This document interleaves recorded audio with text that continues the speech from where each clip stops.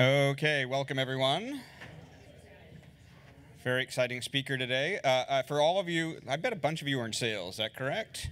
Don't be too. I know there's a formula at the top of this book. Don't be too intimidated. Mark will go over it, so don't worry about that. Uh, and this is Google after all, so I think this is a very appropriate talk about how to use data to drive sales. Uh, Mark Roberge from HubSpot is here to, to talk about his book. Um, and uh, yeah, I'm not sure if you guys know, I'm Rich Miner from Google Ventures. We actually invested in HubSpot uh, several years ago and rode that through its uh, initial public offering, and that's when I first met Mark. Uh, today, HubSpot's trading at about $1.6 billion. Mark was employee number four, started the sales there after graduating from uh, MIT Sloan, and that was his first sales job, which he'll talk about. Um, and he grew it from uh, basically zero dollars in sales to over 100 million and, and to where it is today. And so without further ado, I will let Mark hop up on stage and tell his story. Thanks, Rich. Thanks, Guy, for having me out. Thank you, Rich. Um, one of my favorite things about coming to Google is I love using Google Maps to find Google. It's like you guys need to have like a take me to your master button just to make that like super straightforward. Um, but uh, awesome to be here. Um, you know, it's been great getting to know Rich over the years and kind of watching the HubSpot journey. Um, as he mentioned, um, I met one of our co-founders, uh, Dharmesh, sitting next to him in class at MIT. He had this business idea about HubSpot. He invested in a startup that I was doing. As part of that deal, he asked that I help him out one day a week, and that was kind of my venture into HubSpot. Uh, decided to join full time and, and uh, joined as the fourth employee. Scaled up sales and service to about 425 employees and got the company to about 100 million in revenue. And the last two years, I've been working on getting us into the sales product arena, which I can talk to about during the Q&A. But it's that first journey that I'm going to tell you about today. What people get a kick out of the story is, as Rich mentioned, I've never been in sales before. This was my first sales job. Um, probably like many of you, um, I studied engineering undergrad. Um, I started my career at Accenture back in the late 90s, writing Java and, and you know, et cetera and I have a degree from MIT, um, which tends to be quant-based.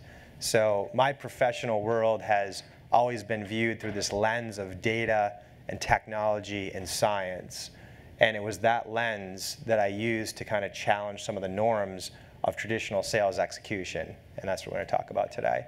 So when I took the, the role, um, really my, my mission was predictable, scalable revenue growth. Um, if some of you ever decide to go and found your own company and do a, a Series A or a seed funded pitch to a guy like Rich, write these four words on the screen. They all love it. Like scribble it down. That's what we want too. Um, so that's a good place to start.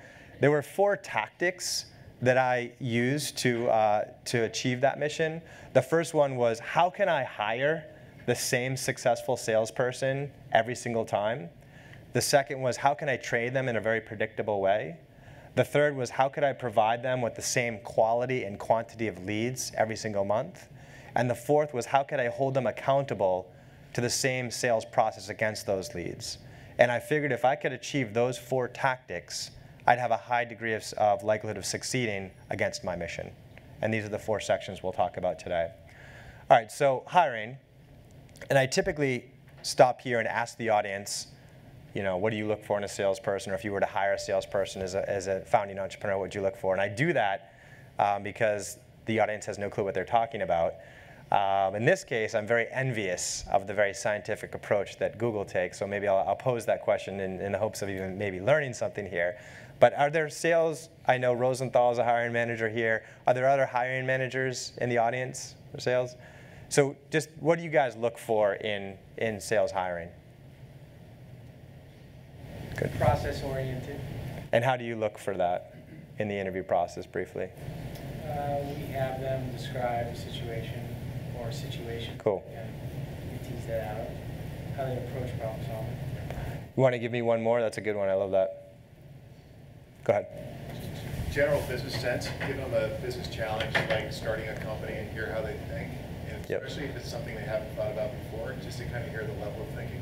Yep, I love that. So we had business sense for the video there, and we had process oriented there. I love those. So let me uh, tell you a little bit about a story uh, that I had. So when I first uh, went out and hired folks, um, I think it was the seventh hire I made in uh, 2008. And I was able to nab the number one salesperson from an 800 person sales team here, here in Boston. It wasn't Google, uh, it was a public company, and uh, I was psyched. I, I, had somehow had convinced them that we were going to be the next uh, big deal in town, and they decided to come over. And I was surprised that that person did not crush it at our company. I thought they would. I thought they would come in and completely teach us how to sell. And as I stood back and thought about it and reflected on that situation, I realized that they came from such a different context than where we were selling, right? They came from this enormous brand. They picked up the phone. People knew exactly what was coming in terms of the pitch. It was a very transactional sale. It was usually sort of like a, a same call decision and they would do as much activity as problem that led to success. That couldn't have been more different than the context that we were selling at HubSpot in the early days. Right? No one had a clue who we did, who we were. We told them we were selling inbound marketing software. They had no idea what inbound marketing was. It was a very evangelistic, consultative sell. And it, it made me understand that when, when hiring managers and when entrepreneurs ask me, well, what do you look for in a salesperson? It's almost like an irrelevant question because it so depends on their unique context and how complex their sale is, who they're selling to, et cetera. So that was my first takeaway is the ideal sales hiring formula is different for every company. However, I do think that there is a consistent process on how that formula can actually be engineered. And I think this is something that you guys do exceptionally well. And it's something that I, you know, I just, using my, my engineering background, kind of instinctively try, try to go this in terms of predicting success. So the first year I wrote down the 10 criteria that I thought would correlate with success in our environment. I clearly defined what each criteria was. I clearly defined what a score of a, a one to three or a five to seven or a you know, eight to 10 would look like. And I was disciplined about scoring every single hire against that criteria. And the nice thing about sales, unlike engineering and, and uh, marketing and other disciplines, is it's probably the most um, quantitative function where you can quantify success. And by following this process, it allowed me to reflect on the first six hires, the first 12 hires that I made, and start to pick up patterns as to what's predicting success and what's not, and iterate on that, uh, that approach. And it wasn't long, probably about 18 months in, where as a young startup, I was able to do a regression analysis against uh, predicting success and attainment rate and, and, and revenue success and that kind of stuff with the criteria that I was actually observing during the interview process. Um, so this is the results of the first regression analysis that I did, and this evolved a little bit um, from where we ended up. What was really interesting about this was some of the criteria that you typically associate with a good salesperson, maybe in sort of like a car sales environment, something we think is a traditional sales environment, like closing ability, uh, convincing, objection handling those were actually negatively correlated with success in our model. And things that you would associate with like a great consultant uh, or a coach, like preparation and domain experience and intelligence, those were most highly correlated. So I was really, I thought this was a really cool outcome that there's been a lot of chat about how the buyer behaviors change and sales needs to change and all that kind of stuff. And this was some form of statistical, uh, you know, proof that the buyers wanted a different type of salesperson that was less the person that was jamming concepts down your throat and more someone that they could trust, respect, get advisement from, and appreciate through the sales process. So there were five criteria over time in our context um, that correlated with success. And I do, um, I do believe that in a lot of tech entrepreneurship um, situations, these five criteria um, actually correlate pretty well. I'll poll you guys to see how you do here. So these three are all in the top five. Uh, one of them is number one, obviously. So how many think uh, intelligence is the number one correlating criteria in our environment? How about coachability? How about curiosity? Okay, cool. I gotcha. Curiosity was number two. Uh, coachability was actually number one.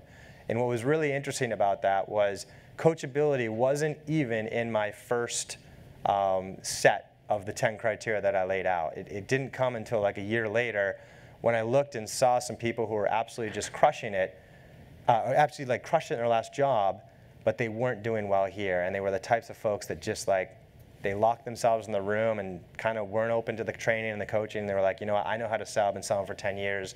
Let me just go figure it out. And they were the folks that actually ended up failing. So it's something that we had to really, uh, you know, get out in the interview process. So there are coachability, curiosity, intelligence, work ethic, and prior success. And if there's curiosity on, on how I interview on that, on that, we can talk about that during the Q&A. So moving on to training, um, what I found with training was um, I first uh, interviewed like 30 VPs of sales when I took this job in the first year because I didn't know what the heck I was doing and I'd never done this before. And I learned some stuff from that process, um, but I also found some things that I didn't like about the process, and training was certainly one of them. Um, it seemed like when I asked folks, how do you train your salespeople? they said, hey, you know, Bob, welcome to the company. You remember Sue, our number one salesperson from the interview process? Well, you're going to sit next to her for two months, or you're going to ride with her for two months. And that didn't feel scalable nor predictable for me. Um, so I wanted to challenge that and kind of create some, a much more predictable, you know, exam-oriented, certification-oriented approach, which we did. We introduced a sales methodology, and that was very important. Um, what I found was over the years, as I looked at our top performing salespeople, each salesperson that was a top performer was kind of a different top, uh, was a, a top performer for a different reason. Um, like I had this guy, Adam, who was an absolute activity hound. Every time we generated our monthly reports, he had 40% more activity than everybody else. He would just crush the phones. If you went and sat behind him at his desk, he had like five tabs or of his CRM open. He was on the phone. He was writing emails. He was taking notes. He was a multitasker. He was insane. And he was like mediocre at everything else. He wasn't the best consultative seller. He didn't build the best trust with his prospects. He didn't do the best discovery calls. But because he had 40% more activity than everybody else, huge numbers came out the bottom. And then I had Jen, and Jen was an amazing rapport builder, right? Like you listened to her demos, the first half hour was about sports and kids and church and the weather, and she was best friends with every prospect that she spoke, spoke to. Now, again, didn't give the best product demo, didn't uh, give the best discovery calls, but because her prospect loved her so much, many, many of them bought. Now, they were both top performing reps. Imagine if Jen trained by watching Adam, or Adam trained by watching Jen. It would have, they would have had picked up bad habits. They would have had different perception of their unique superpowers and whether they could use their superpowers in our environment. And I see that happen time and time again. So that's another reason I really wanted to strive toward this sort of standard process. Now, beyond that, in training, uh, there were two opportunities that we, we took advantage of. One was um, because the buyers have a higher expectation from sales and want to learn from them we thought it was absolutely critical that we strive in training to put our salespeople into the seats, the professional seats of their buyers as best we could. So in our example, every single HubSpot salesperson um, spends a good deal of their 30-day training building their own website and their own blog on the HubSpot software. They generate a social media following of 100 plus followers for this mini business that they start. They rank in Google for dozens of words. They set up uh, landing pages and run A-B tests. They generate an email following and nurture those emails. Um, they set up uh, uh, a, an analytics platform so that they can actually measure the conversion rates between each one. Uh, and by the time they're done with that training, they can actually school 90% of the marketers that they're going to speak with on the phone. And so I think that's a big opportunity that we, I'd like to see more companies do is go beyond just the typical product training and try to get these folks engaged in the day-to-day lives. They're better sellers. The other opportunity that we had um, was there's an opportunity for the salespeople to build up their own personal brand and trust within the, within the ecosystem, right? So many corporations and brands are doing a better job on their content marketing strategy and their inbound marketing strategy these days and trying to come up more uh, organically, whether it's in search or social media discussions, that same opportunity exists for the salespeople. And I encourage our, um, you know, our, our salespeople, and even when I go out and meet other uh, salespeople, and they'll talk to me and like, you know, Mark, I, I cold call 50 hours a month in order to generate demand for myself and my, my company. And I say, you know, that's the reality. It's a sales job. You need to, you need to cold call. But here's what I'd like you to do next month spend 40 hours a month cold calling and use that 10 hours a month that you saved and actually um, participate online where your prospects are actually conversing, right? So what blogs are your prospects following? Read those blogs, comment on those blogs, right? In fact, submit a guest post for your blog if you have a corporate blog. What LinkedIn groups are your prospects a part of? Get involved in those LinkedIn, group, LinkedIn groups and answer those questions, right? Um, on Twitter, who do they follow on Twitter? Follow those same people and retweet their stuff. And you'd be surprised that those people start following you. And then do that for two months. And then ask yourself, were those 10 hours a week, a month, spent better cold calling? Or were they spent better participating in social media? What kind of action did that stir up for you? And I think most salespeople find that that was a really productive uh, process, and they may actually double down on those efforts. So there's certainly an opportunity out there for salespeople themselves to set themselves up with the, as thought leaders, and that's something that can be incorporated into training as well. Okay. Third section, um, same quality and quantity of leads. Um, how many people in the last six months have received a cold call, either at your office or at your, at your home, and you got into this engaging conversation with a telemarketer, and you ended up buying the product they were selling? There's usually like one, like a timeshare or something like that. I don't know. Like, I had one that called me. He said, um, "Do you have a crack in your windshield?" I said, "No," and they just hung up. That's what, that's what these people people are doing these jobs. I don't I don't know why they do this, but how many people in the last six months have received a piece of direct mail or an unsolicited email to your inbox? You opened it, you were intrigued, and you ended up buying the product. What was it? Close. Okay, you're fired from Google. You're not. You're not supposed to do so. That's that's cool. It's unique to find that amongst us audience, but that's cool. What what what brand was it? They get me too. I always get the catalogs and stuff. Okay, that's cool. I'm a big fan of Pistol Lake these days, kind of like the startup hoodie thing going on. But uh, yeah, you don't have to tell me. How many people in the last six months have gone to Google to do a search or out into social media? Um, to do some research on a product, and that research led to you buying a product. Okay, so you know the folks in this room has probably had the biggest influence of any company on this trend. Uh, but this is the reality of the buying journey that we're dealing with today. Is uh, buyers have complete empowerment, and uh, they don't have to go to trade shows. They don't have to deal with these interruptive outbound marketing, as we call it. They can be in their bunny slippers on a Saturday night doing research after the kids are asleep, making business decisions and choosing the vendors they're going to do business with.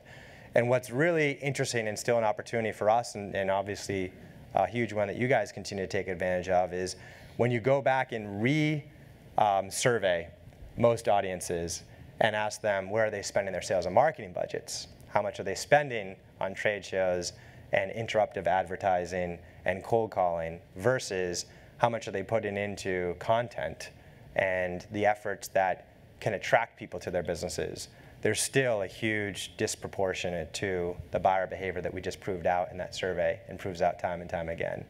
And that's a big opportunity, obviously, that we've always tried to push is, is this inbound marketing message, leaning into content. And um, the, um, the thing that most uh, businesses don't recognize is the importance of content development and the journalist's role in that. I was actually just speaking to a, a startup uh, on the way here um, down in New York. 100 people starting to build out their marketing team. And it amazes me to this day that it knocks them off their seat when I tell them that our second hire in our marketing team, when we were only 20 people, was a journalist from the New York Times. And that's really how a lot of these marketing teams need to be thinking is it's less about these folks who have product marketing backgrounds and and uh, trade show booth skills or direct mail skills and that kind of stuff. And it's more about people who can just speak to a neurologist um, with a very deep PhD, uh, you know, and, and great knowledge in a space that they know nothing about, and actually take from that hour-long cup of coffee a beautiful piece that layman folks can understand. I mean, that's what a great journalist can do.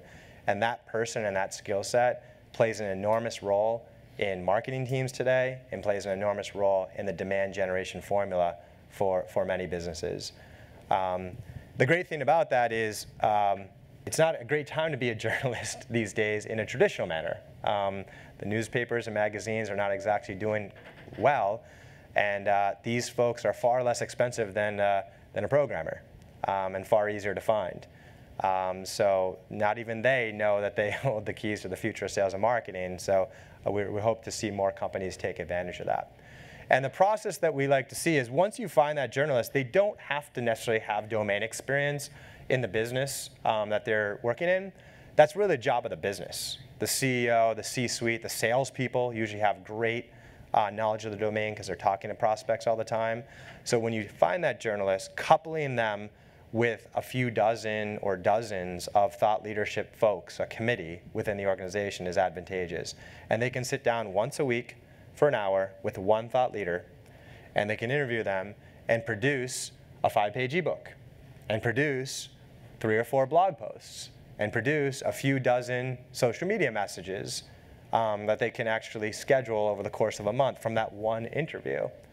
And those blog, you know, those social media messages go out over the course of of a month. They point back to the relevant blog articles. And most importantly, at the end of each blog article is a call to action that says, did you like this blog article on XYZ? Perhaps you'd like the five-page ebook that we wrote. And that is yours for free. We just need your name, phone number, email address, and company, and you can have it.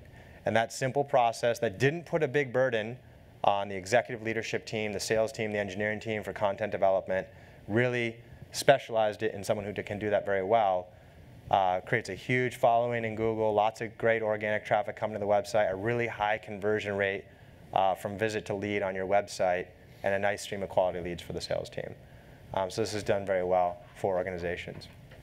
Um, the other thing that comes up a lot is um, aligning marketing and sales, especially at sort of that mid-market company level, something that we went through and a lot of our customers go through as well. And you know, a lot of the companies that we go and visit, we find that marketing and sales has traditionally not gotten along. I don't know if, if you guys have gone through that uh, at some point, you probably did. Um, what I find often is that marketers feel that their salespeople are overpaid, spoiled brats, and the salespeople feel that marketers do arts and crafts all day. And that's the reality of that relationship. And then they go back to their respective corners of the office and, and do their cold calls and do their trade show booths and branding exercises, and, and there's dysfunction. And that dysfunction is sort of the kiss of death in today's modern organization when so many buying journeys start online and need to be eloquently passed off to the salesperson. So this alignment is really, really critical and something that we worked hard on in sort of quantifying. And so that's the first step is we created this sales and marketing SLA, service level agreement, where we quantified the deliverables from marketing to sales and sales to marketing. Right? So as an example, we knew in the first year or two of our business that for a mid-market salesperson, if we gave them 100 inbound leads a month, that they would uh, connect with half, create 30 sales opportunities, do 15 demos, and close five customers for roughly $800 monthly recurring revenue per customer and that, those, that math worked very well. So if we had 10 mid-market salespeople, each needing 100 leads a month, it was very easy to define that SLA of 100, 1,000 uh, mid-market qualified sales leads for that team, and that was the journey that marketing had to follow. Sounds really good, and if I found a company that did that, I would say, great, you're in the top 5% of your peers in terms of the sales and marketing alignment journey. However, even that sophistication created misalignment. And what happened was um, we counted a VP of marketing who came to our website and requested a demo as a qualified lead. That was beautiful, right? We also counted a VP of marketing from a mid-market company that downloaded a white paper as a qualified lead. That's a great lead. Now, any guesses as to which one closed at a higher rate? The demo request or the white paper download. Demo request, it was about three times higher. And which one is easier for marketing to generate? To get a visitor to request a demo or to get them to download a white paper, right? So even though we were pretty sophisticated in our approach, it still created a misalignment. And sure enough, as the month or quarter unfolded and the marketing team fell behind in their SLA, all the calls to actions on the website moved from demo requests to white paper downloads. And the sales team was like, what happened to those beautiful demo requests? So Mike Volpe, our CMO, and I sat back and thought about it, and we, we started studying the lead flow. And um, let's take the mid-market example in the upper right. Um, we studied you know, tens of thousands of leads that were at the problem education stage. They had downloaded white papers. And those converted to customers at 2%. And when they bought software from us, they spent $200,000. I made these numbers up, but you get the point. Um, versus if someone went all the way down to the solution research stage and requested a demo, well, they would close at three times the rate. They'd close at 6%. And again, would spend $200,000 when they bought software. So we simply multiplied the conversion rate times the average revenue per customer, and that got us a lead value. So now, um, uh, you know, white paper downloads were worth $4,000, and demo requests were worth six, were worth 12. And now I was in a position to tell marketing, I no longer need 1,000 mid-market leads from you a month. I need, you know, $700,000 of lead value. And whether you get there through, you know, whatever the math is, you know, a, thousand or so of the white paper downloads or 3,000 or so of the demo requests, that's up to you. And this is a very, very effective concept and a cool concept when you think we put marketing on a revenue quota just like sales and that kind of accountability month to month. And suddenly, literally the next week, all the calls to actions on the website went to demo requests and it was great. Sales loved them, more qualified leads, and marketing was getting the appropriate credit for the hard work they were doing in driving that quality lead. Now, sales does not get off the hook with this process. Um, they're equally accountable. And what I would do is I'd ask questions like, okay, when I get a qualified lead, I know we should call it right away. I know we should call, but but like, if I do get voicemail, do I call it this afternoon again, or tomorrow, or next week, or when should I try it again, and how many times should I try it before I give up? And as a sales leader, should I give each salesperson one lead a month and have them call it a thousand times, or give them a thousand leads a month and have them call them once each? So obviously, like the right answer is somewhere in between, but where is that right answer? So another study, to give you some examples of some of this stuff. So, uh, you know, stuff that you guys do quite well as, as well is here you've got an, uh, the x-axis is the number of attempts we made against these leads. Some were only attempted twice, some were attempted 12 times. And the y-axis is the profitability um, of those efforts. Because clearly when you call something more frequently, your likelihood to get on the phone is higher, but it costs you more in terms of your pursuit of that account. So wherever we could maximize these behaviors in terms of profitability, that was the right answer. So the orange line was uh, the small business leads, and that maxed out at around five attempts. The blue line was the mid-market, that maxed out around eight attempts, and the black line was 12 uh, attempts. Uh, the black line was the enterprise leads, and that maxed out at 12 attempts. So now I could go to the sales team and say, guys, we have calculated the behavior to making the most money here at HubSpot. And that's what salespeople like to hear, right?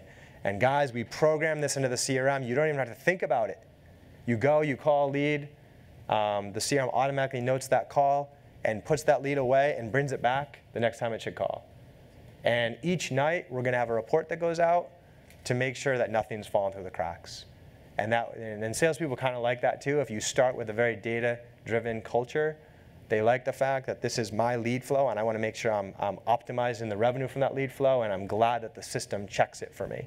So each night, a report went out to the whole sales team, the whole marketing team, me, our CEO, and it showed if any of these behaviors were not being followed by the sales team so we could act immediately.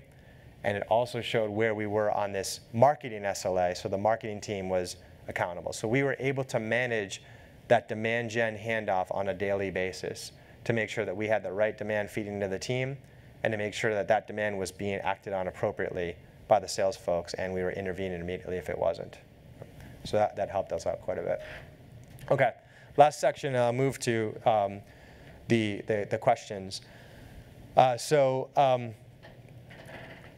managing salespeople and holding them accountable to the same sales process. Um, I wish we could rename the sales management title to the sales coaches. Um, because I think that's the most important thing that sales managers can do is coach and develop, and develop their salespeople. And the best and simplest example I can give in what I see as effective coaching is, comes from my pursuit of the game of golf, which has not been a very successful pursuit um, today. but um, I've taken many lessons. And uh, one golf pro said, Mark, take a swing, and I did.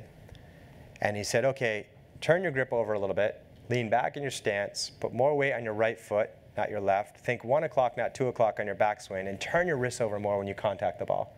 And I was like, you got to be kidding me, right? The next golf pro was like, all right, Mark, take a swing.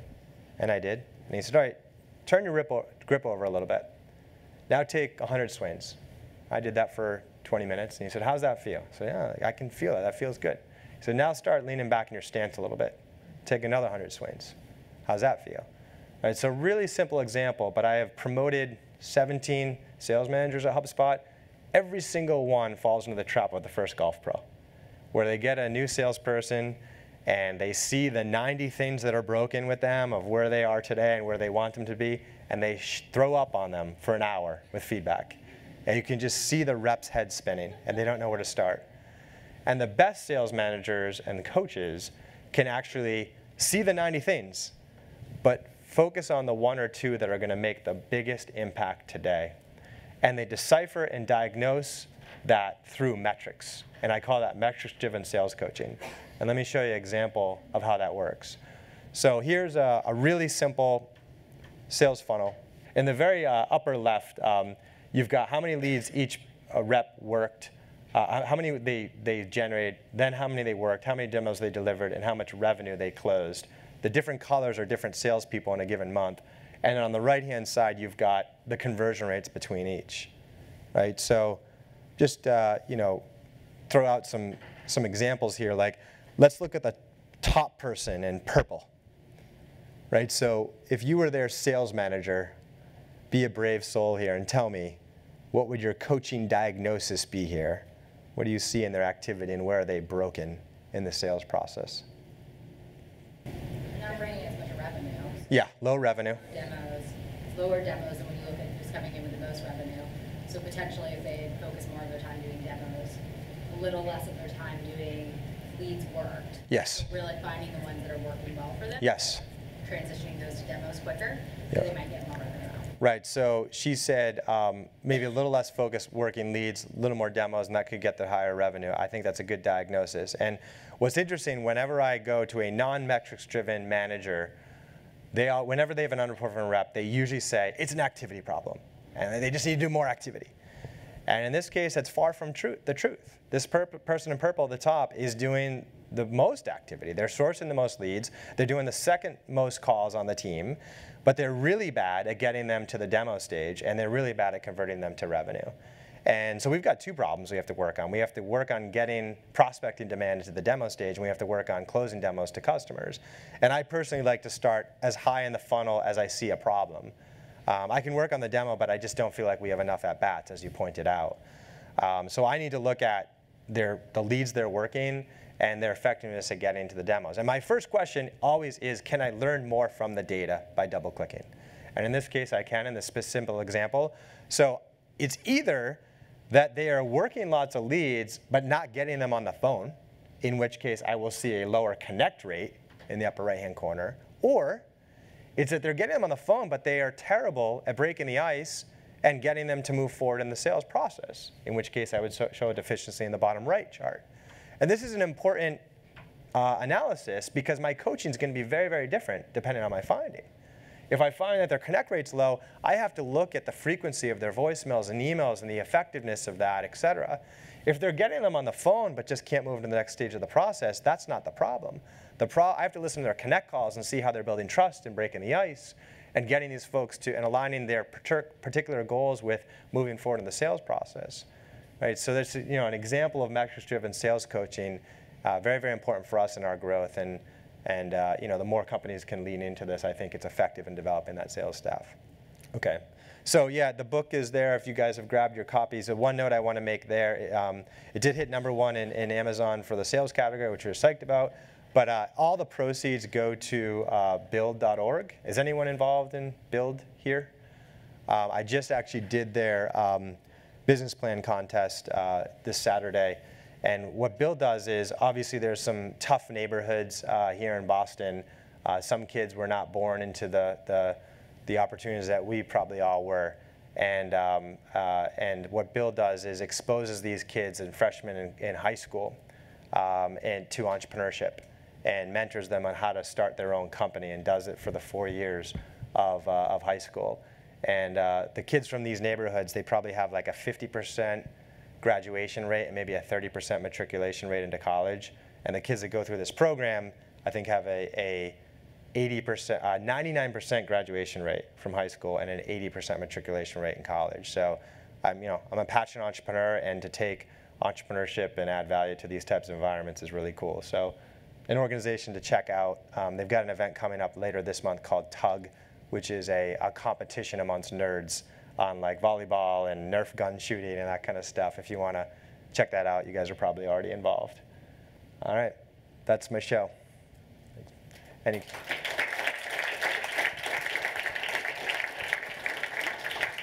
No questions? Uh, super interesting and all the, the data driven approaches. One thing that a lot of us in the room do as salespeople here is large customer sales. yes. Um, have you done any research, any science behind in person meetings versus phone virtual meetings, and any correlation between upselling and success in terms of how often to be in front of the customer? I haven't. You know, we didn't get as much into that. I know you guys, obviously, that's a bigger driver uh, for you. We did move into like the corporate slash enterprise space in the last, uh, you know, couple of years.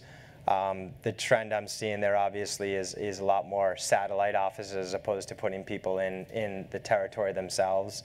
Um, but I haven't I haven't seen that. You know, obviously, like there's there's a lot more leniency toward or, or openness from the buyer around uh, you know buying virtually these days than say 10 years ago. And I think a lot of you know companies that are starting out building sales teams are, especially when they hire a seasoned um, head of sales, uh, they probably don't take advantage of that as much as they could. But I, I'm sorry, I can't give you like I, I don't have any data-driven approaches there. Sorry. Thanks. Yep. Hey, Mark, thanks for being here. Yeah. My name is Heather. I'm a sales manager here. Yeah. What is it like to have um, Google Ventures invest in you? What did you, what was the process? Total like? micromanagement, worst uh, VC to work with. No, uh, it's awesome. Uh, Rich is obviously has an amazing. The great thing about like Rich and I think the Google Ventures folks is um, they come with operational experience, right? They've been entrepreneurs before. They've had huge successes, and those are the types of um, you know investors I personally like to work with. There are some who are just more from the finance side, and they're putting money to work, and they might look it in front of LPs and that kind of stuff. Um, but uh, um, you know, I like I like it when they have those backgrounds, and Rich and Google Ventures certainly falls into that. The other great thing is just you guys are such like a horsepower, and you know to be able to have tapped into um, you know various resources here through that relationship has been great. Um, I'll be quite frank, like it's more challenging to do that. Like I have a lot of friends at Google, and you know know Rich well, and like oftentimes they know just as much as you do who you should be talking to at the company. It's such like a monstrosity, so it's becoming more challenging over the years for the company to be able to help um, you know companies from that standpoint. But certainly, um, our ability to get in front of the right people.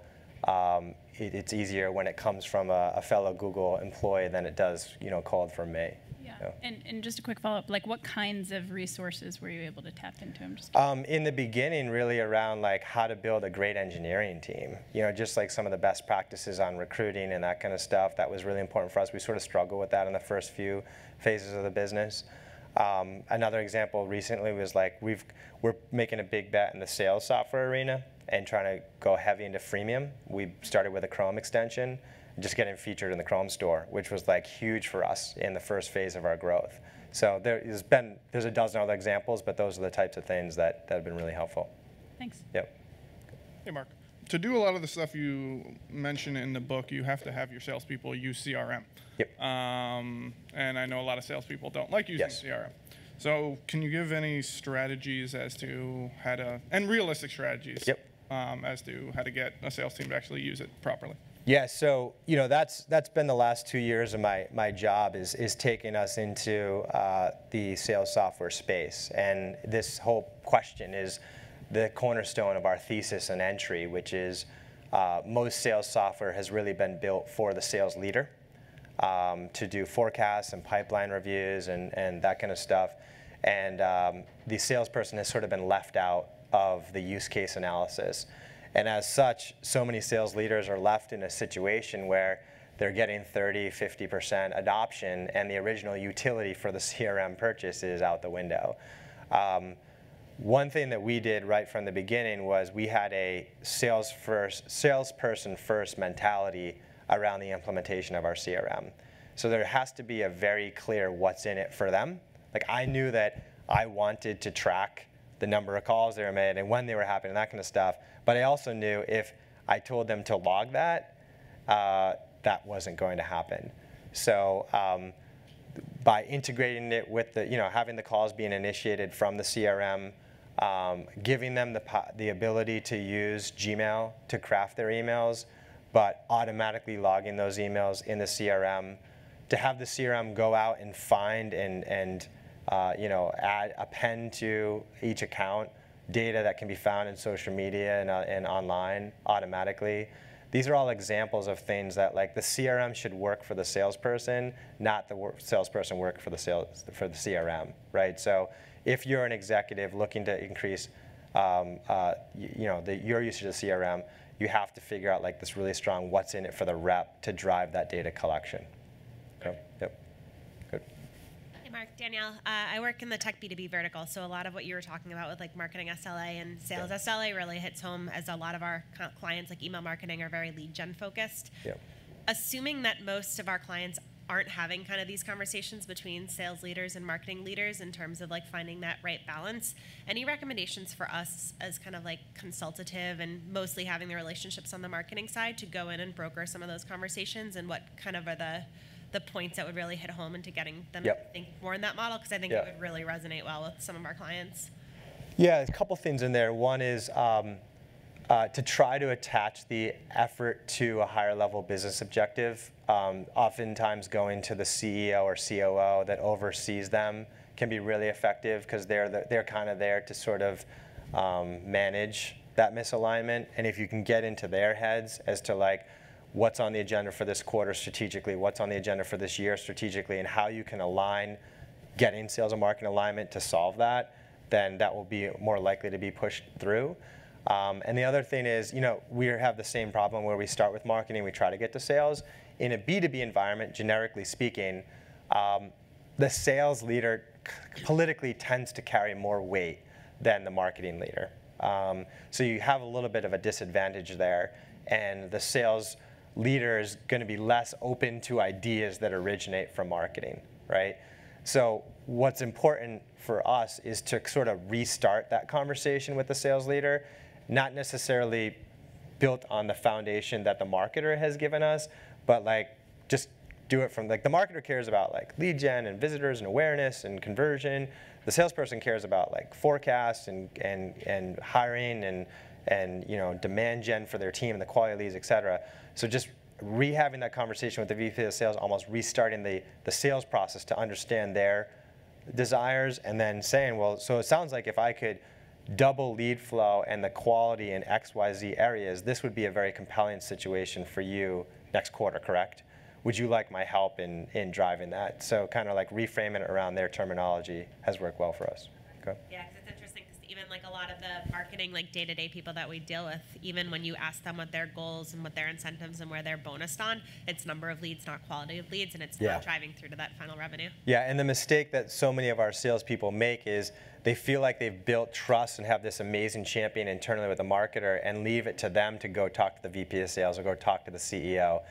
And, you know, uh, don't mean to offend people in marketing, but like they're in marketing for a reason. Like they're not used to selling. And that's really what it takes when you go to the CEO or you go to the VP of sales and you're trying to make a change. It's a sales job. And so our best bet as a sales team is to get that direct inter- interface. And if the marketer doesn't have enough trust to give it to us, then we are a sales coach now. And we are like, how are you going to approach the CEO and want me to build a deck for you and can I coach you through it? So these are the tactics that tend to work. Okay. Well, thank you. Yep. Hey, Mark, thanks for coming. Um, my, my question was more on context. And so you look at these charts and they're, they're beautifully simple, and, I, and I'm, I'm sure there's an enormous amount of work and insight that goes around them. But Um, what was missing for me, or at least the question I had, was sort of timeline, right? You were the fourth employee Yes. at this company, which a startup has a very different, you know, set of pressures than Google, right? Yep. Because you're trying to get to the next round of funding and, and, Yeah. and sort of demonstrate your business model. But then you have like this enormous, enormously clear set of data which is related to CRM. So like w- when you were building the infrastructure, what was the timeline? I mean, Yeah. it's had to have been a while, right? Uh, so you had to deal with years of frustration, probably not being able to answer the questions you, you wanted, and, and maybe now you're there. Yep. But just Yeah, good, great question. And uh, to be honest, like a lot of the context from the book skews toward the early years. Um, uh, in, surprisingly, right? So you probably need to start this stuff earlier than you'd expect. And um, for example, in the hiring, literally, I, I went through that exercise before my first interview uh, with with candidates. And yes, you're not going to have a regression analysis on you know your your correlated uh, criteria after your first three hires and after your first six months in business. But the important thing is you're, you're thinking in the right way. Um, you're, you're going through that discipline and you're setting yourself up for that, that analysis 18 months down the road. And even having made like four hires, say in the first quarter, and watching them perform for three or four months, you have something to work with. You can go back and, and look at that interview score sheet and, and reflect qualitatively and make some adjustments. Um, so that, that was useful. On the demand gen side with the SLA, um, you know, it doesn't take a whole lot to generate a few hundred leads a month. Um, it doesn't take a lot to for a salesperson to make or a sales team to make a thousand calls in a month. So you start sitting on some data relatively quickly, even in the early infancies of a, a company development. So, good question on like timeline. Um, but a lot of these things I, can, I think need to be worked on from day one. And I think this day and age, it's surprising how quickly uh, data-driven insights actually surface. Okay, thanks. Yep. Hey, Mark, thanks. This, is, this has been very, very informative. Um, question for you on the approach that you have with holding marketing against revenue targets from a demand gen standpoint. Um, I think it's brilliant, and most of my clients are they sell marketing SaaS, and none of them do this. Yep. So they're behind the eight ball there. But um, where I struggle with it is in the world of selling B2B SaaS, a lot happens before you pick up the phone and call someone or are ready to talk Yep. to someone, let alone see a demo, right? Yep. So what happens when your Mike, so Mike's team Yep. sends a forty dollar or four hundred dollar white paper Yep. download lead over to a salesperson? Is that even ready, or do you further Yep. bake it before it gets there? Yeah, there's a there's a in sec, part three or something. There's a chapter on this on like the the right times to hand off, and um, I don't I don't think I have that in the appendix here. But you'd have to imagine sort of a matrix of the y-axis being the different types of companies, the demographics that really are static. They're not going to change. It could be company size. It could be the industry that they're in. Um, and then the, the x-axis is the engagement, their journey down the buying journey. And so if there's some, let's say it's enterprise, mid-market, and small business, and let's say it's like you know low low engagement and then really high engagement. Um, with the enterprise, um, like those are high value leads. I mean, the minute they touch our website, without even giving us a name, we should have someone calling them because we're probably cold calling to that group anyway, right? The mid-market, that might be more like the when they give us an email and phone number, we should start calling them. The small business community, we want to drive them all the way through uh, inbound marketing education, product education, probably get them all the way to this group product demo and whoever raises their hands after that will get a phone call. And that's very much kind of how we drive it.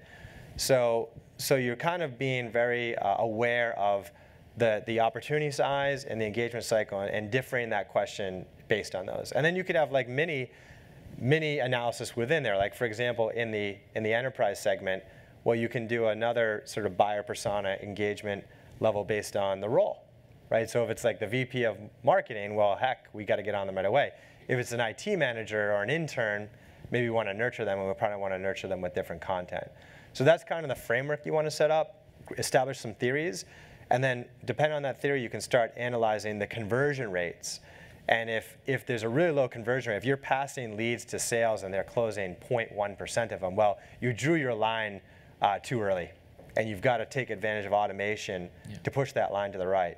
Versus if they're closing 50% of them, you've probably um, sold yourself short, and you should push that line to the left because you're leaving some money on the table.